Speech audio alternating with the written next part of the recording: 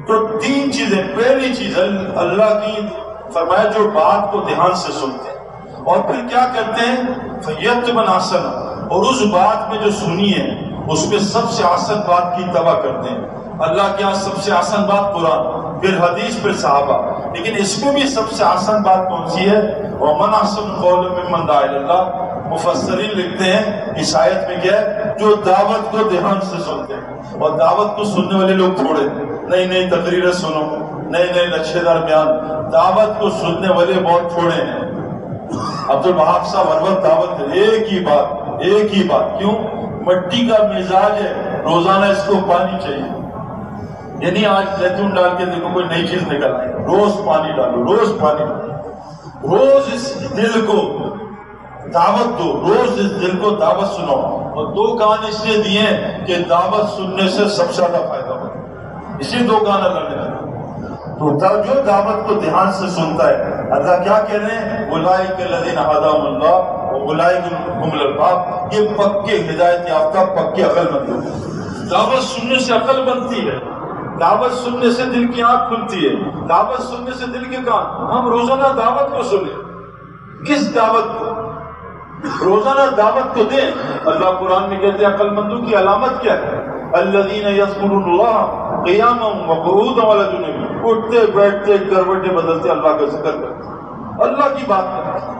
और तीसरी चीज़ क्या है? अफलम यसीर फिलौर तकून लघु कुलुब या जब तक तुम अल्लाह के ज़मीन पे नहीं फिरोगे, अल्लाह तुम्हारे दिल की अकल को नहीं खोलेगा। फुरूज के बगैर नहीं समझ में आएगा।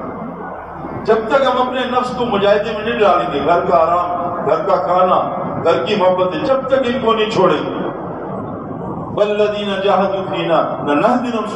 जो नफ्स के मुजाहिदे करेगा, अल्लाह अपने तक पहुँचने के सुबुल सुबुल रस्ते खोल। मेरे दोस्तों, दावत को सुनना, दावत को देना क्यों? हम सब दाई हैं। दारसलाम अल्लाह भी दाई है। अल्लाह दाई है, हज़रत मोहम्मद दाई तमाम नबी दाई अल्लाह ने हमें नबियों का काम, अपना काम दिया है। इतना बड़ा काम, पायलट रक्षा चलाया, उसको क्या कहेंगे? मारेंगे शाबाशी दे। हार्ट सर्जन पंक्चर की दुकान खोल ले। क्या होगा? अल्लाह ने हमें अपना काम दिया। कि मैंने अपना काम भेज नहीं मुझे अल्लाह ने आपको अपना काम दिया, नबी का काम, ऊँचा काम। मेरे दोस्तों, दाई और आबिद में ज़मीन आसमान का फ़र्क। हालाँकि वो एक ही है। मैं घर में जाऊँ, बच्चों से क्या छुट्टी? बच्चों की छुट्टी चलो। चीफ मिनिस्टर क्या छुट्टी? कराची की छुट्टी? पीएम की छुट्टी पूरे मुल्क की छुट्टी। स्टेटस बदला, मेरे दोस्तों, लफ्ज में असर बदल गया। जब मोहसिन कहता, अल्लाह अकबर अल्लाह अकबर, शैतान कान में उंगली डाल के भाग जाता है। डरता है मोहसिन से कि मोहसिन, दाई है? और नमाजी कहता, अल्लाह पर शैतान वापस आओ तेरी ऐसी की तैसी। अब बता दो नकाते कितनी है। अब तेरे अंदर मोबाइल घुसेड़ता हूँ, तेरे अंदर नई गाड़ी डालता हूँ। जैसे ये शैतान निकल अकबर, शैतान की जान निकली, इसकी हवा खारिज हो गई कान उंगली जैसी नमाजी अल्लाह अकबर, शैतान वापिस बुखारी की रवायत है। वसवसे डालते रकाते बुला इतना असर है दाई का और आबिद का फ़र्क। शैतान जहन्नम का दाई है, उसका मुकाबला जन्नत का दाई करता है। फरमाया उमर अगर मैं अमीर ना होता मुद्दिन होता, मैं मोहसिन की गर्दन क्यामत के दिन सबसे ऊँची मोहसिन बीस मिनट दावत देता है। जो रोज़ाना चार, आठ घंटे दावत देगा, उसकी जन्नत क्या होगी मेरे दोस्त। हमें अल्लाह ने दाई बनाया, अल्लाह के वास्ते इस बात को समझे। हम टीचर नहीं है, दाई है। कुल हादी ही सबीली अल्लाह। इनसे कह दीजिए आपका रास्ता दावत वाला। अला बसीरत पूरे बसीरत के साथ दावत दें। अना मन तबानी ये आपका भाई रास्ता, आपकी तबा लोग रास्ता। दावत का रास्ता। तो पहली चीज़, दावत सुनना, देना और दावत के लिए अल्लाह के रास्ते फिरना।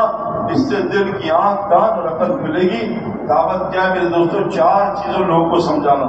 जो आज मास्टर में पहली चीज़ इस सारी कायनात का खालिक सिर्फ़ अल्लाह।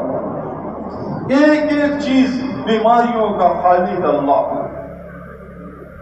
सेहत का खालिक अल्लाह। खुशियों का खालिक अल्लाह। अल्लाह कुरान में नजरत हज़रत मोहम्मद साहबा के पास गए। साहबा हंस रहे थे। जो मैं जानता हूँ, तुम जान लो, कभी इतना ना हंसो। बाहर निकले, अल्लाह ने कुरान भेजा। अन्ना हुआ था कबाब का ए नबी जी ये खुद नहीं हंस रहे थे, अल्लाह इनको हंसा रहे थे। अल्लाह हंसाता अल्लाह रुलाता है।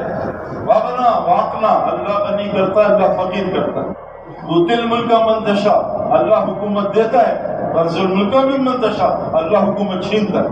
कोई माई का लाल किसी को हुकूमत नहीं दे सकता। मज़ीद बयान सुनने के लिए हमारा channel the way of Islam official subscribe करें।